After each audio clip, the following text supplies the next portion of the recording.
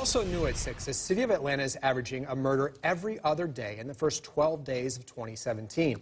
Channel 2 investigative reporter Mark Winne is live at Atlanta Police Headquarters. And Mark, a deputy chief says APD is concerned, but they have several new strategies now in place.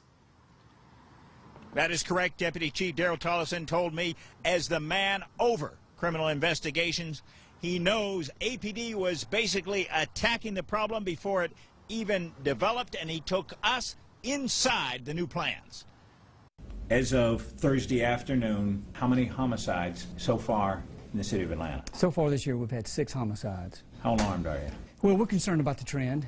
Uh, anytime you have homicides, we get concerned. But last year, this time last year, we had two. At the end of January, we had uh, eight. More murder. Atlanta Police Deputy Chief Daryl Tollison says four additional detective slots have just been added to APD homicide, and the officers filling them were among those in a briefing we shot. A plan in place, he says, even before 2017's relatively deadly start. Last year, how many homicides?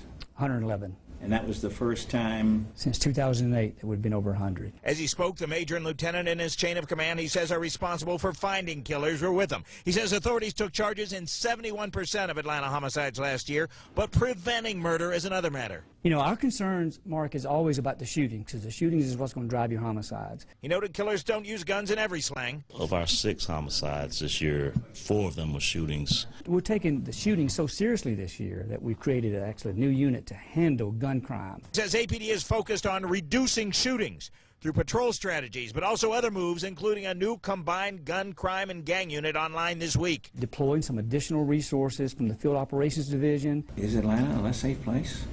Than it was? No, I don't think so. Since the Mayor Reed took over, we're still 27% down in crime. We were down 3% in 2016. And Just crime seeing that. spiking nationwide. Yeah, I was going to say, it's, it's, it's throughout, really throughout the country that we're beginning to see uh, an increase in violent crime throughout, throughout the entire country. It's not just an Atlanta concern.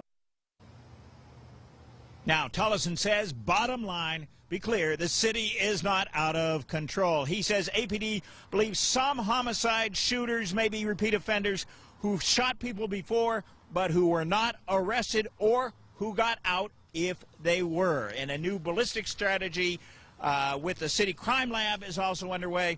Major Adam Lee indicated the other two homicides, including included a stabbing where the suspect was 77, the victim 63. Reporting live outside Atlanta Police Headquarters, Mark Winne, Channel 2 Action News.